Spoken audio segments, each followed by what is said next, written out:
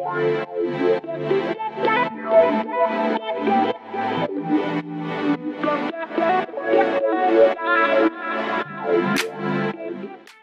agora a gente vai conversar com uma pessoa que é minha musa, então espero que vocês é, é, gostem do papo, porque é uma mulher que me inspira muito. Guilene, por favor, você pode pegar o palco. Por favor. Guilene é fundadora uh, e CEO da Tokstok. É uma mulher à frente do tempo dela. A Tokstok foi fundada em 1978, quando a Guilene veio da França com o marido, Regis. É, e a Guilene é considerada uma mulher que é, ela e o marido fizeram uma dupla, o marido muito na área criativa e a Guilene na operação, na finanças. Né? É como se fosse, às vezes a gente pensa que é o contrário, né? A mulher na área criativa e o marido na área de operação, de finanças. A Guilherme é uma mulher organizada, focada, que levou a empresa por muitos anos é, e muito bem, é, até que em 2022 você saiu da, da presidência.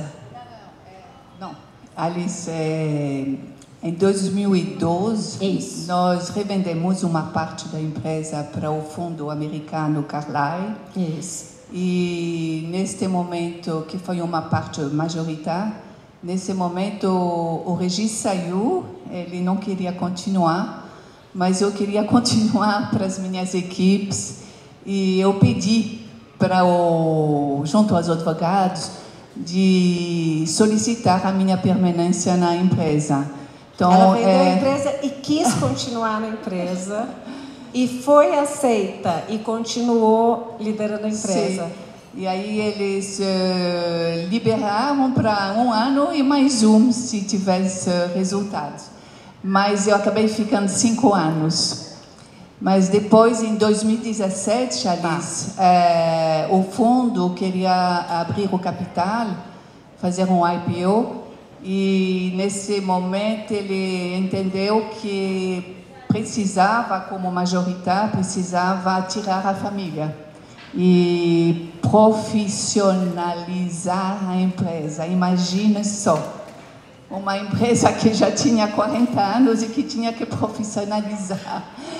Então, esse que é o raciocínio sempre dos fundos, é, é ter um executivo de mercado então, nesse caso, eu tive que sair e ficou, uh, foi contratado como executivo de mercado. Durante cinco anos a Guilherme não esteve lá, Isso. mas eu quero voltar para agora, porque Sim. há dois meses atrás, há pouco tempo, a Guilherme foi convidada a voltar é, para a empresa como CEO. E, e aqui a gente vai falar sobre liderança feminina um assunto espinhoso, porque não é um assunto simples é, para as mulheres brasileiras. Você falar de liderança é quase como se fosse agressivo.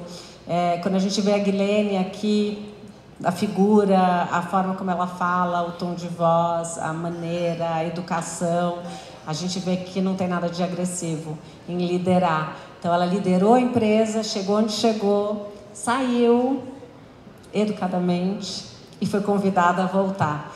Então, é, e uma mulher que começou isso muito antes, é, quando na sua geração não era algo comum. ainda não é, mas claro que a gente andou muito, né, Guilherme? Então, a, a, eu queria que você é, é, me falasse sobre isso, sobre é, você é francesa, Guilherme é francesa, escolheu o Brasil. Eu falo que ela, ela gosta mais do Brasil do que a maioria das pessoas, porque a verdade é que a gente não escolheu, a gente nasceu aqui, né? E a Guilherme escolheu, ela nasceu lá e ela escolheu ficar no Brasil e vir para o Brasil, empreender no Brasil e ter cinco filhos no Brasil. Não, não, não, quatro. Quatro. E um na França. Porque o Paul já veio com dois aninhos, né? É, então eu gostaria muito que você falasse desse desafio. É, para as francesas, será que é mais fácil? Mas você está aqui há tantos anos que você já é. Você já, Verdade. Você já é como nós. Apesar do sotaque, você entende exatamente as dificuldades e você liderou no Brasil.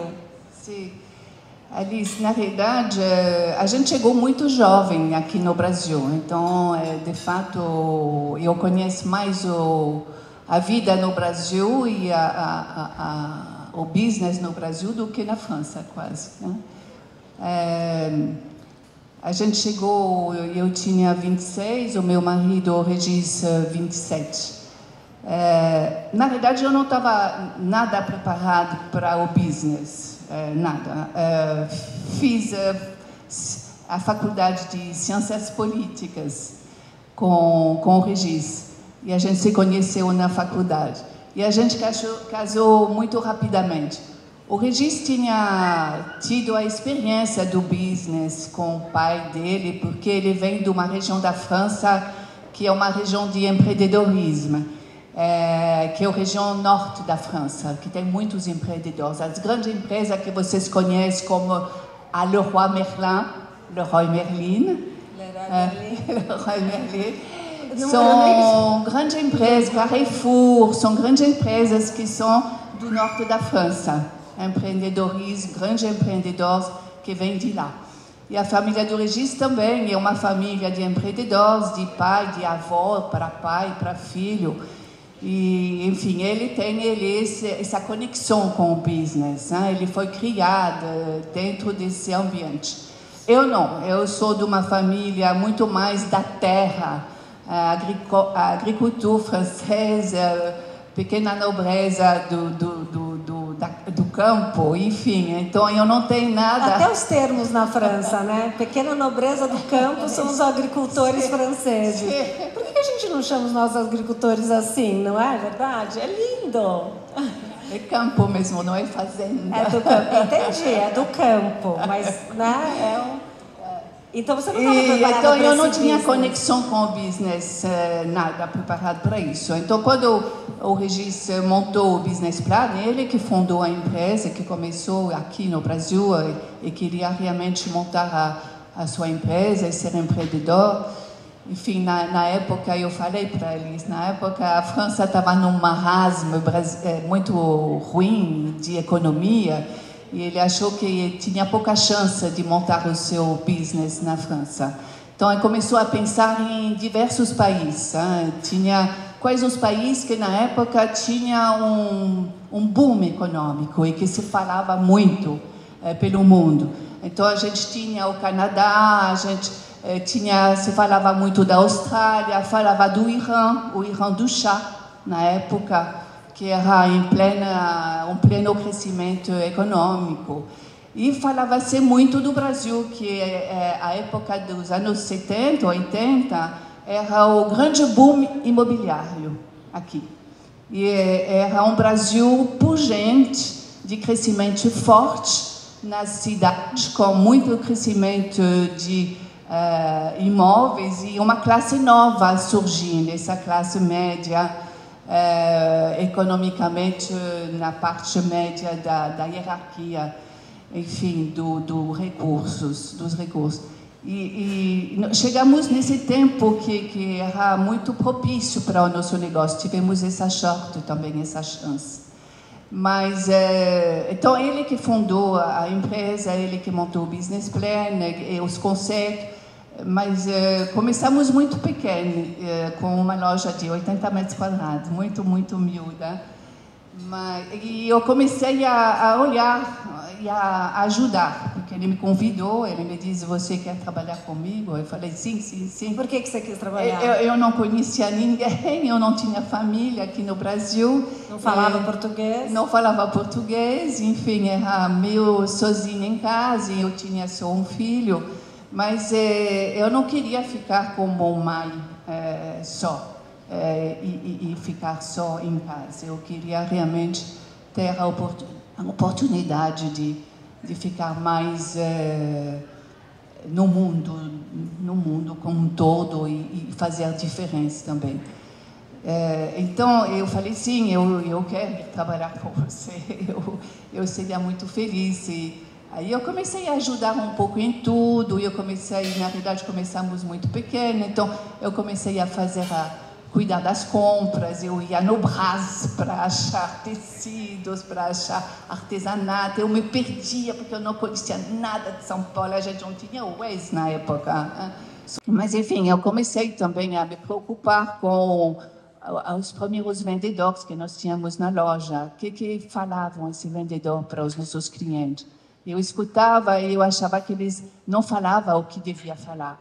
Então, eu comecei a a entender que havia de estruturar treinamento, de estruturar uma coisa melhor. Então, comecei a, a, a, ficar um pouco mais dentro do que seria a gestão de, de uma loja. E é, conta o, o nome Talk Stock. Eu Talk acho interessante Stock. o nome Talk Stock tem um sentido dentro do Talk Stock que a gente ouviu muito até dos colaboradores, né? Que um é o toque e o outro é o estoque. Sim. Na verdade, o Regis, quando ele abriu, a, abrimos a, o negócio, abrimos a primeira loja, ele fez uma lista de 100 nomes diferentes. Mas esse toque e estoque, eu acho que corresponde muito bem aos nossos conceitos. O toque é o toque da decoração, aquilo que fica diferenciado na decoração. E, e pegou todos os traços, todos os, eh, vamos dizer, os aspectos emocionais eh, da empresa. A bonita decoração, a bonita coleção de produtos, a seleção dessa coleção, eh, enfim, tudo é que... O toque pessoal de cada um, o toque na decoração. Isso. É essa expressão, você essa dá expressão. um toque nas Isso, coisas. dá um toque. Tá. E o estoque... O, o estoque, estoque é realmente o estoque dos produtos. É, não podia ter só a exposição dos produtos, mas tínhamos que ter o estoque de pronta retirada já para fazer uma diferença no mercado. Chegamos aqui, não tinha, era inédito esse pensamento de poder fazer que o cliente possa levar no porta-mala do carro uma caixa e que o próprio cliente pudesse montar o seu móvel. Não tinha pronta entrega de móveis não. e não tinha esse conceito ainda no Brasil. Não tinha esse conceito. Só tinha Gabriel Monteiro da Silva com lojas caríssimas italianas, design bonito, design italiano, mas de encomenda de muito tempo, a prazo longo e caríssimo esses móveis. E tinha uh, os móveis de, dos, dos magazines, que não era do nosso do nosso gosto mesmo eram mais pesados, mais rebuscados. E, enfim, a gente achou que tinha um nicho e começamos a pensar justamente nesse móvel eh, mais eh, descontraído, mais leve e que pudesse ser retirado no próprio porta-malas e montado pelo cliente. Isso era uma revolução aqui no Brasil. E a gente começou também com uma linha tubular, que não existia, que era uma linha dinamarquesa, eh, que foi um uns direitos adquiridos por uma arquiteta brasileira, e nós desenvolvemos essa linha aqui, que era vendida na Habitat na França, mas aqui no Brasil eh, ele tinha trazido essa, essa, esses direitos. E foi um sucesso absoluto. Eram os móveis na época, vocês imaginem, nos anos 80, coloridos em laranja, amarelo, verde. Era uma coisa eh, totalmente inédita. E foi um sucesso tão grande que todas as capas de revista é, colocaram essas é, nossas nossos móveis. Tivemos uma exposição no MASP com essa cadeira super colorida. E aí, mas aí já foi se, se mostrando essa tua capacidade de liderança. Eu sei que o Regis é um é um líder também e Sim. carismático, Sim. É, mas é, é, é, é, um outro tipo de liderança. Você muito organizada é, e que é isso que eu percebo com, com muitos processos. É, é uma coisa muito feminina na liderança que são os detalhes. A mulher na liderança ela é muito detalhista. É, ela, ela quer aquilo e ela vai formatando. Eu sinto isso com todas as influenciadoras, eu sinto isso comigo. E eu vi isso em você, é diferente do homem. Talvez o homem seja menos detalhista e ele também, às vezes, dá mais autonomia. A gente é mais, vamos por aqui, né? Sim, sim, e é você verdade. liderou esse processo, né? Sim, sim, é verdade. Eu cuidei muito do, da coisa da operação mesmo e dos processos, é, dessa questão de execução. Hein? O, como executar bem feito a, a, a, a estratégia. E como a gente escolheu também desde o início de ser uma marca nacional é, e, e, ir pelas grandes cidades do Brasil, é, de norte a sul, isso é muito difícil. O Brasil é um continente, não é? É um continente muito grande. Nós temos que ter um know-how de logística muito bem é, definido, bem preciso.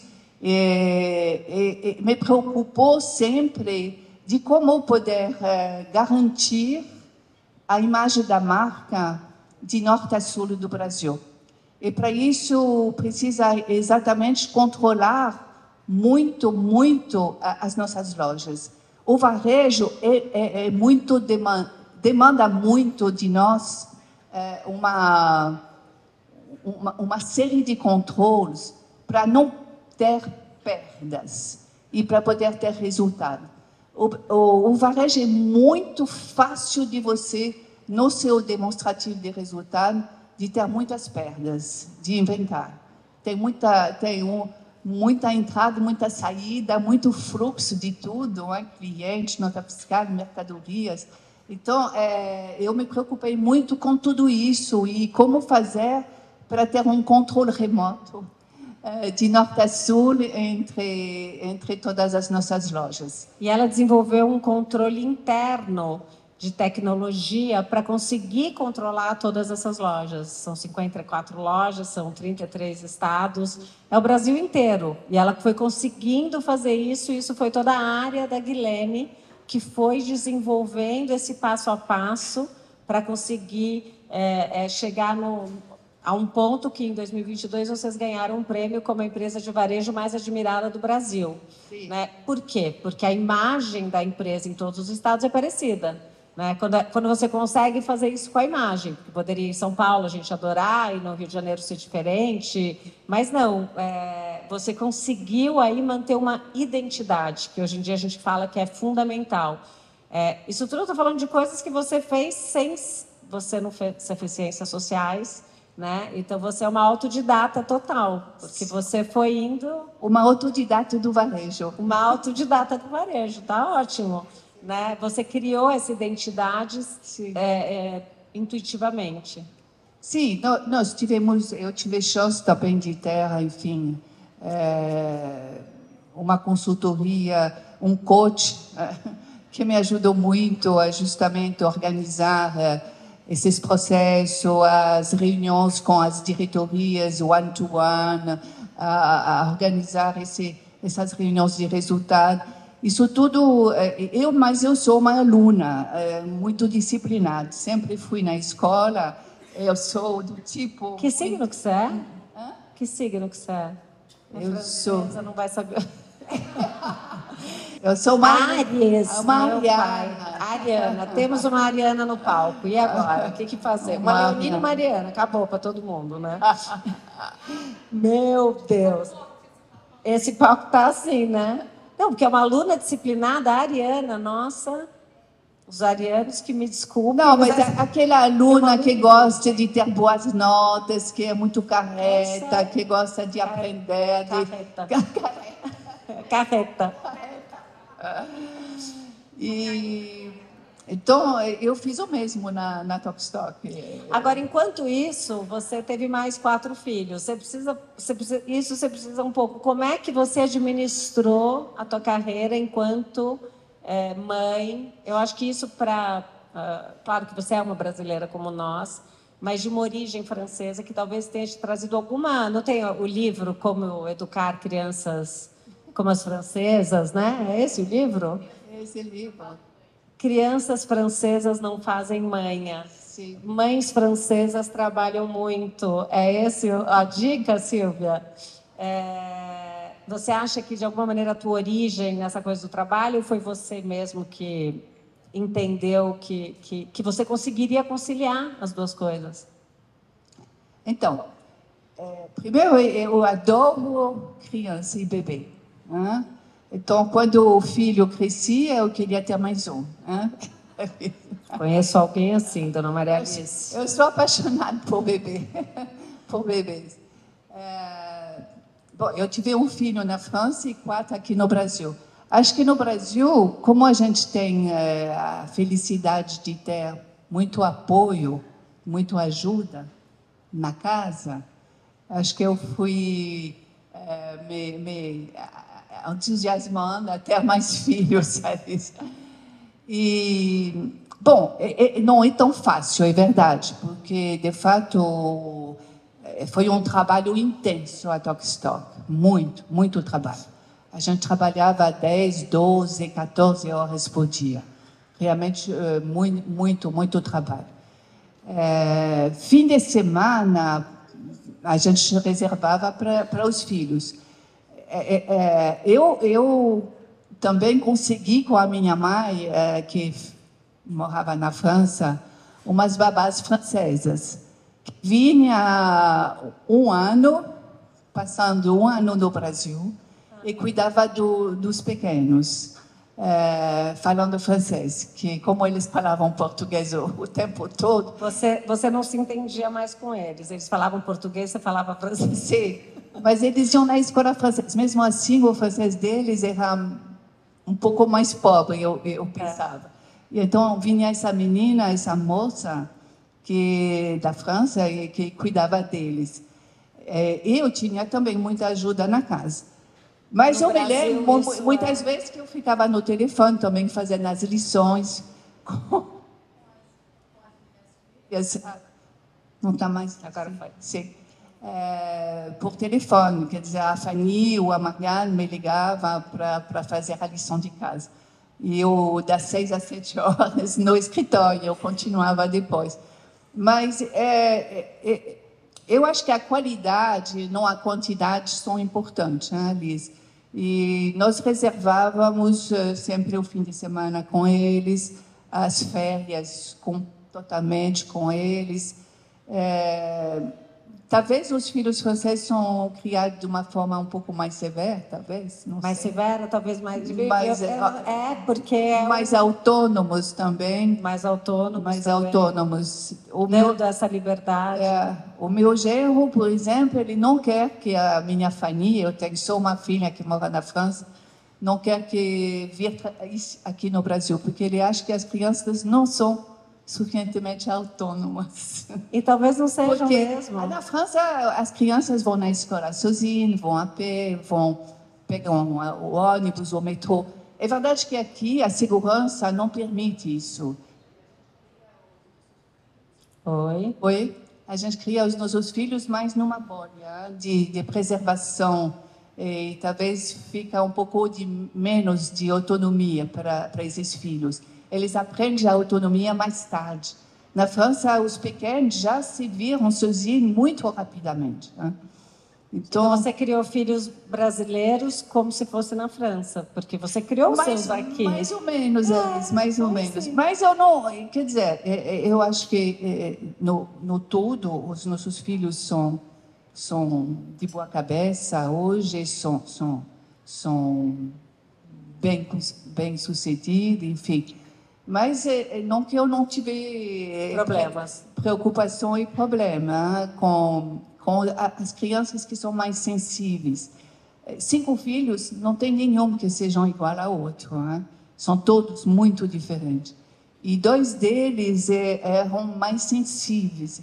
E, e eu, eu tenho um pouco de, de remorso hoje, de, de, de talvez não ter tido suficiente é tempo e, e, e proximidade dessa sensibilidade. Obrigada e, por falar isso. Sim, é, é, de fato. Mas é assim que a gente vive com algumas coisas sim, que não conseguiu fazer. Que não consegui fazer. Porque a gente tem aqui muitas influenciadoras e muitas mulheres aqui que passam sim, por isso, têm filho, sim. estão com os filhos em Brasília, é, cadê?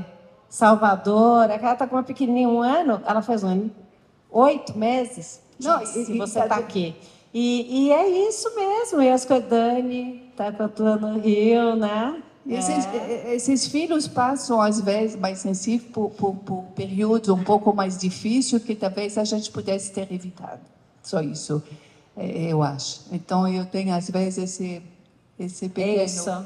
Esse pequeno... Mas você construiu uma, uma, uma carreira e uma marca que está na memória afetiva de todos os brasileiros que eu converso.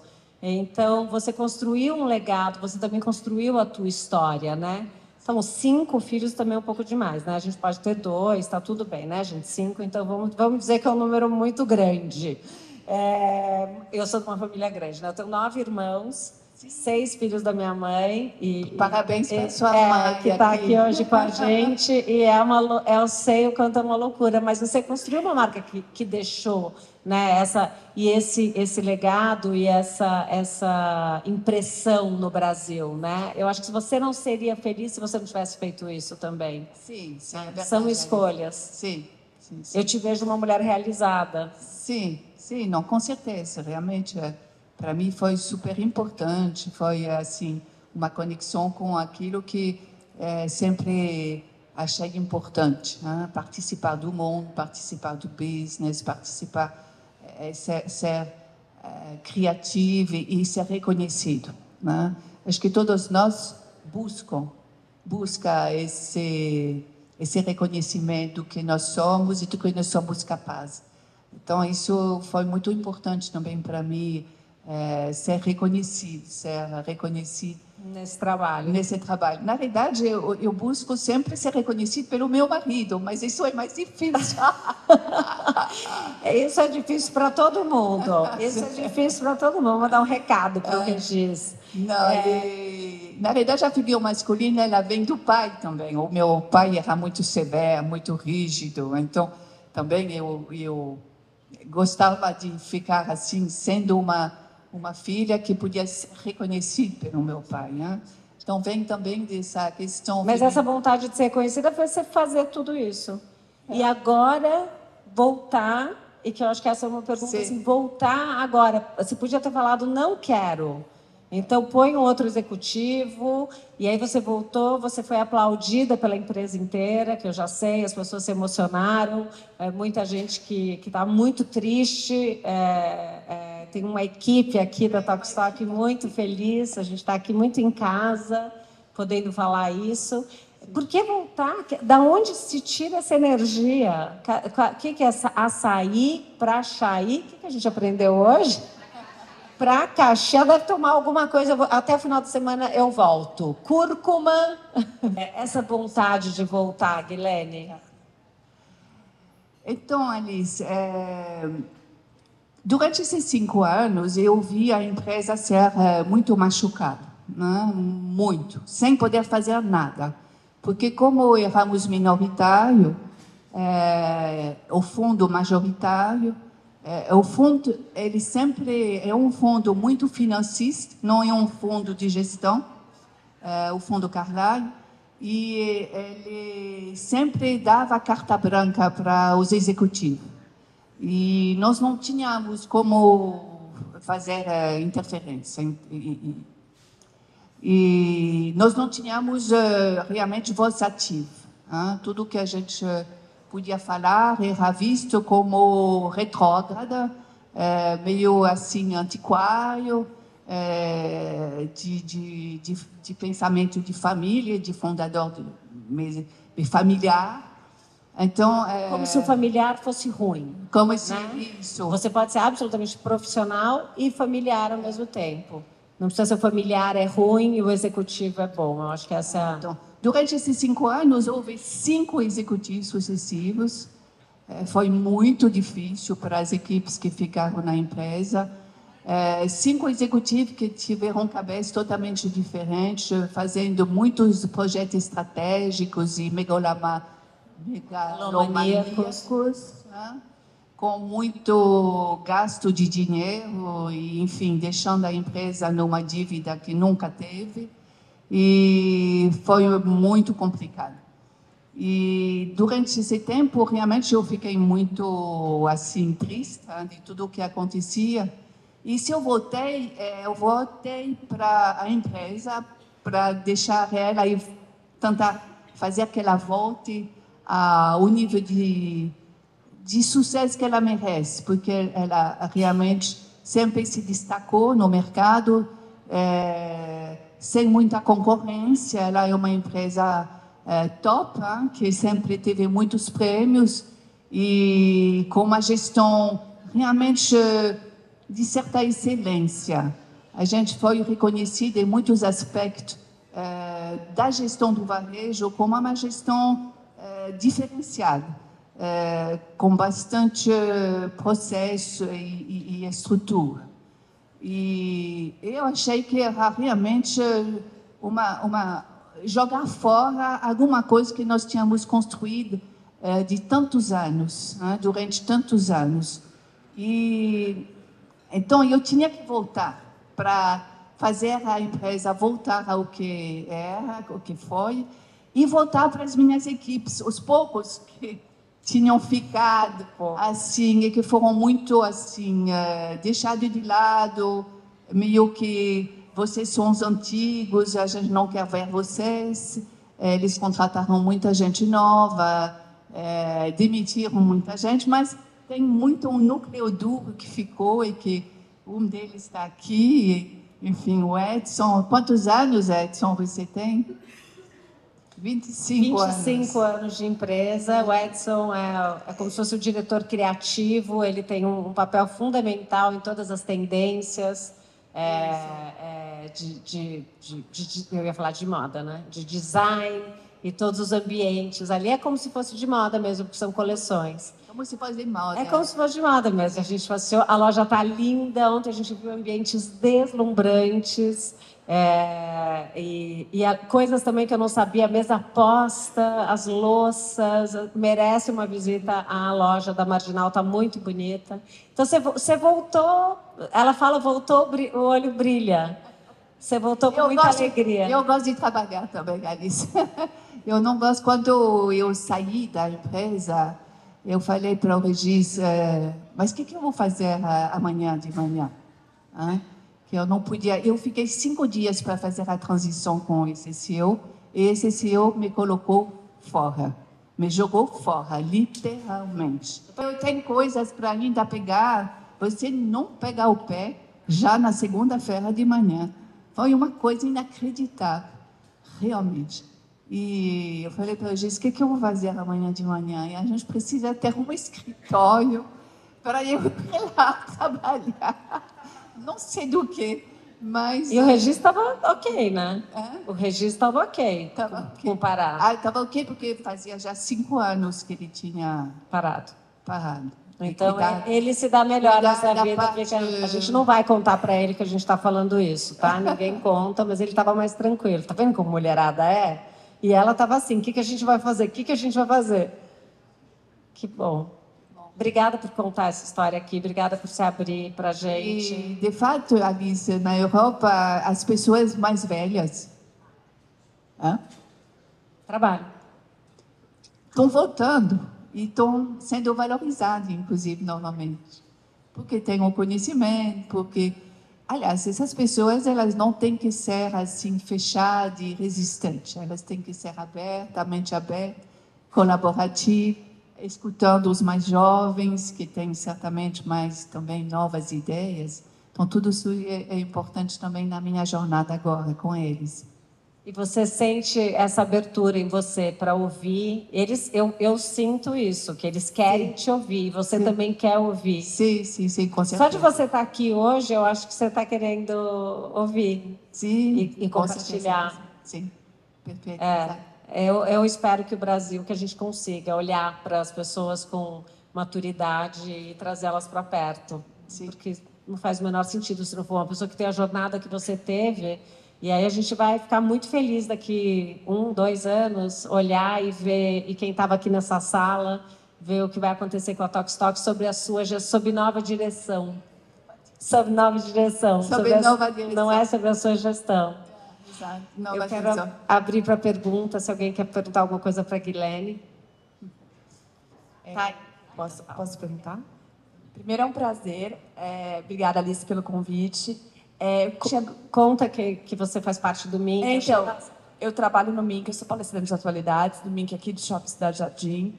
E, assim, eu sou economista de formação, já passei para o mercado financeiro, sei bem o que você está falando dos fundos, né? Já tive desse lado. E aí, quando a Alice publicou no Estadão a sua matéria, eu fiquei, até fiz um post, assim, porque eu fiquei emocionada. Ela fez um post lindo sobre a matéria. O MINC, aqui no Cidade Jardim, é uma. É, como é que vocês dizem? Porque não é um curso, é, é um encontro, vocês trazem é, filósofos, Sim. pessoas para contar a trajetória. É uma plataforma de conhecimento tá da Marina Auriemo e tem os grupos abertos e os grupos fechados. O Jaime dá para grupos abertos eu dou para grupos fechados. Como se fosse um é muito interessante. Muitas pessoas que moram aqui no Cidade Jardim, é. assim, eles, eles realmente atualizam. É. Eu sou política, economia e tecnologia, mas eu gosto muito de trazer convidados. Então, eu trouxe ontem a Ana Cláudia Arantes, doutora Ana Cláudia Arantes, que ah, escreveu. Ah, eu sei quem. É, então, eu trago filósofo, eu trago economista, eu trago político, eu trago tudo. Mas então foi um prazer é, recebê-la aqui, foi uma honra poder falar com a senhora. E do, eu queria, teria duas perguntas. Primeiro, eu vi o vídeo que o Edson postou, porque eu fiquei tão emocionada que a Alice postou ontem, vocês na Talk Stock, que eu fui atrás do Edson. E eu vi a sua chegada, é, a sua volta na empresa que ele gravou. E eu queria perguntar qual que é a diferença entre ser CEO e ser um CEO líder. Porque foi o que eu te falei agora, eu conheço muitos CEOs que não são líderes, né, pessoalmente, profissionalmente. Qual que é, é essa diferença? E a outra é, quando você fala da sua sabedoria, desses 40 anos, o empreendedor no Brasil que sobreviveu a 40 anos, sobrevive qualquer coisa. Né? Todo mundo que empreende aqui, grandes empresas, sabe disso. Sobreviver no Brasil é uma aventura. 40 anos, então. E qual foi o momento mais difícil? São essas duas perguntas, a liderança e qual foi o momento mais difícil dentro da Tokstok? Que lição você tirou dele? É, quando você, quando você me contou ali, é, foi quando você realmente vê a, a a marca ser destruída. É porque tudo que ela me contou daquela uma hora de conversa é, é, tão interessante isso, né? Você falar, o único momento foi quando eu vi a minha marca ser destruída. É... Sim, é verdade. É verdade, Alice. Não foi um momento muito difícil para mim, muito. O fato também de ter que sair completamente, né? eu estava muito envolvida com, com a empresa e com o seu crescimento, enfim e ter que sair do dia para outro, para outro dia, né? de dia para noite, na realidade. Né? É, e, e, depois ver essa empresa realmente uh, ser destruída, realmente destruída. Né? Foi tudo destruído. O primeiro CEO que entrou é, tirou fora tudo que era da gestão, tudo. Nós tínhamos até manuais, caderno de treinamento dos vendedores, o fundo ficou encantado quando visitou a loja comigo para antes da compra, porque é, ele visitou comigo a loja e nós fomos na administração e ele viu toda a estrutura que nós tínhamos é, de treinamento por função, por cargo, por enfim, por, por atividade. Ele ficou encantado, falou nunca vi um varejo além da, da, da organização da loja, nunca vi um varejo tão assim é, estruturado. E ele tirou absolutamente tudo e, e, e pediu para retirar toda a biblioteca que tinha de controles e de processos e tudo mais, da, da, do gerente de, da, das nossas lojas, de todos os nossos gerentes, que são pequenos CEOs. Nós formamos os nossos gerentes de loja como pequenos CEOs das suas unidades. E ele colocou o gerente como vendedor na, no salão de venda, como ele falava, o salão de venda, salão de venda. Enfim, ele foi um, é um ele foi um terrorista, um trator e, e, demoliu absolutamente tudo que era da gestão anterior. E, e foi assim depois com as próprias lojas. Não sei se vocês eh, tiveram a oportunidade de, de, de verificar, mas eh, quem, quem conhece o NEM mais profundamente é, mudaram toda a, a, a, decoração, o, o, princípio de decoração das nossas lojas, o princípio de ambientação das nossas tendências e tudo mais, como a gente monta uma pequena casa cor em todas as nossas lojas. Ah, eles é, acabaram colocando uma exposição pelo giro do produto, ou seja, o que mais vendia tinha que ser exposto, o resto não. Então, imagina, isso torna uma empresa, uma loja totalmente é, pobre Porque... É. Por exemplo, se você compra um sofá preto, todo mundo compra mais sofá preto, sei lá. E aí você só põe, põe sofá preto. e a Talkstock é conhecida por ter os ambientes. Cores, é. é que é muito interessante uma, uma pessoa que durante tantos anos está à frente do negócio não falar que foi o plano Collor ou o plano tal, eu sei. E ela, ela não, eu, eu, eu já tentei arrancar isso dela, tá? Já tentei arrancar. Não, parece que a vida dela foi sempre: estou trabalhando, estou fazendo, estou trabalhando, estou fazendo. E o mais difícil foi sair. É, então, eu acho que isso diz também muito sobre o, o, o, fato da gente achar tão incrível quando fundos de investimento compram empresas e que talvez não, não seja tão incrível. As, algumas vezes é, outras Sim, vezes. Justamente. Às Existem vezes, coisas boas dos dois lados. É, né? Às vezes funciona muito bem, né? tem fundos que é. têm é, grande sucesso.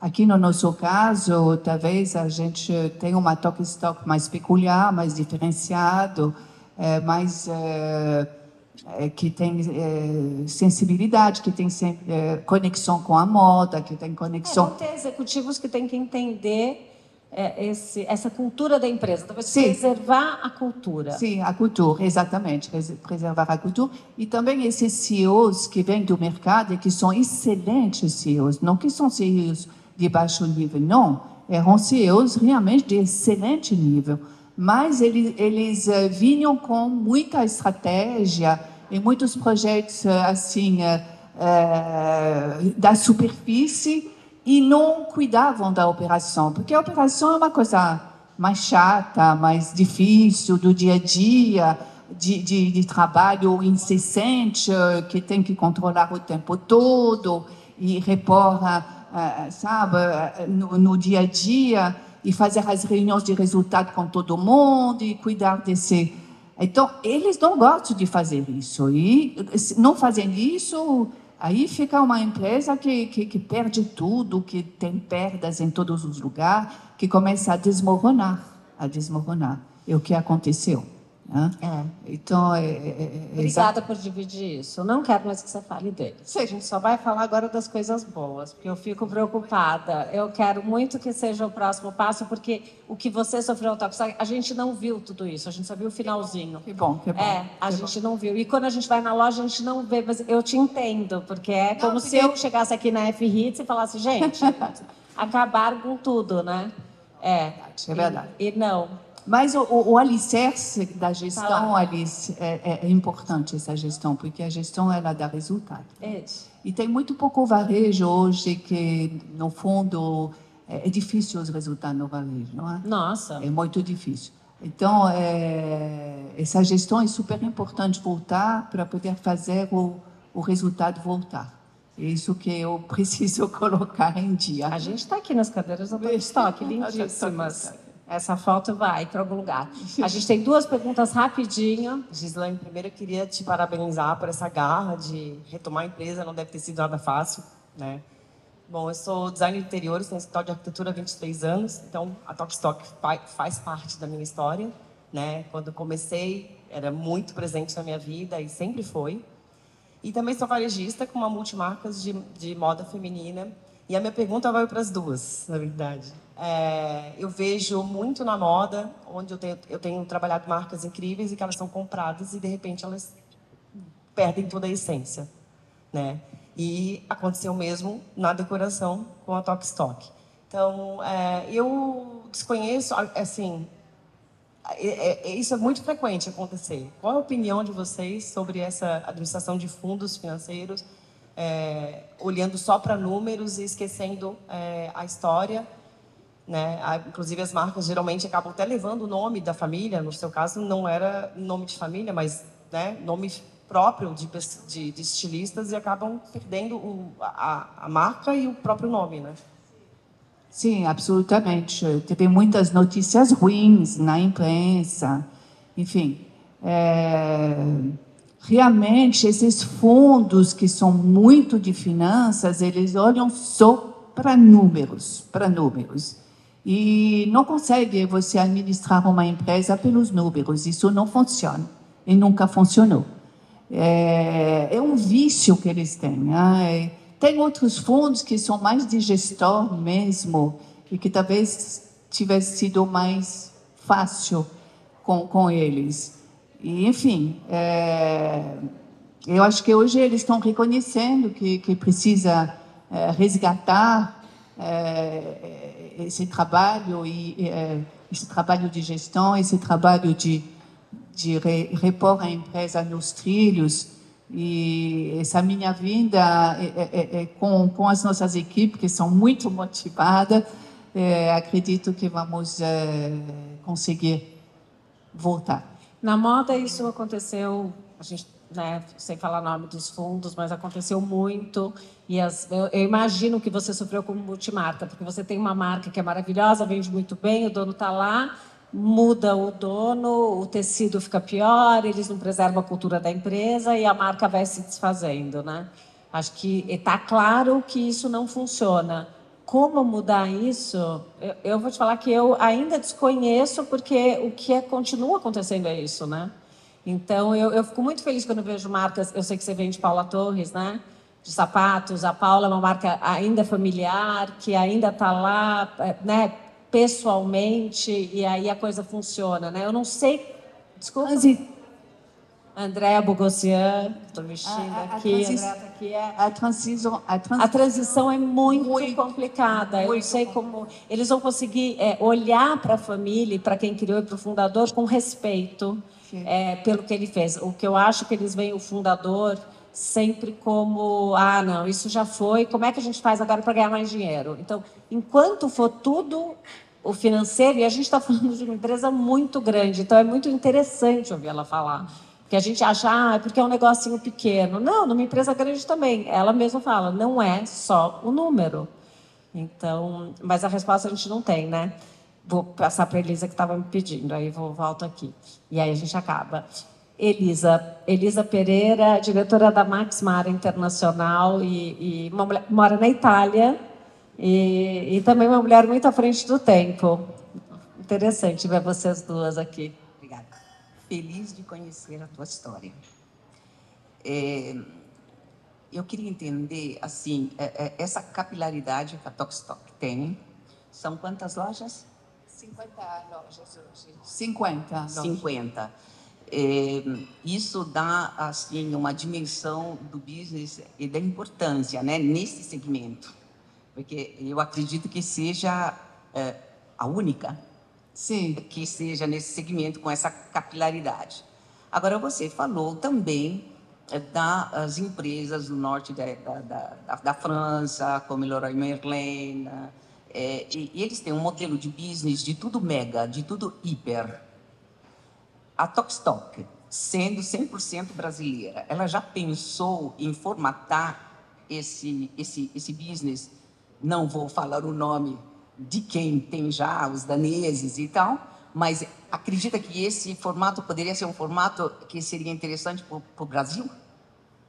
Que seria porque você acha porque elas são maiores, em lojas maiores, porque não, não porque elas, elas têm um formato maior, elas são megas, são todas muito grandes. Aqui, é. Aí. Eu não queria falar. Tudo bem. Não, quando é nacional a gente não fala, quando é estrangeiro não estão aqui. Ser né? 100% brasileira, eu, você acha que esse seria um, um, um formato que nós poderíamos adaptar para o Brasil? Ah, isso é, é uma boa pergunta, sem dúvida.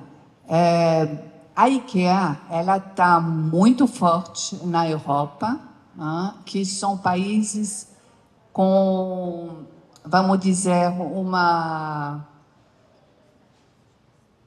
um, um, como pode se dizer, um poder aquisitivo por pessoa que é exatamente muito mediano para todo para todo mundo, né? quer dizer. Exato. Não há é, grandes diferenças, né? que não é o caso de países é, é, como o Brasil, que são países em, em, em, desenvolvimento, vamos dizer, que são é... uma grande diferença social. Sim, sim tem mais diferença, muito mais diferença social.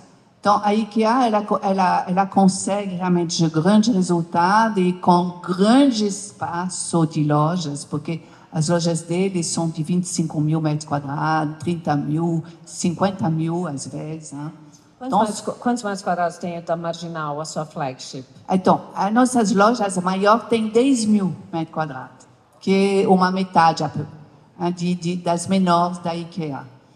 Então, temos grandes lojas, temos médias e temos pequenas. Por quê? Porque o Brasil, justamente, nos forçou a, a desenvolver diversos, eh, vários diversos eh, formatos de loja.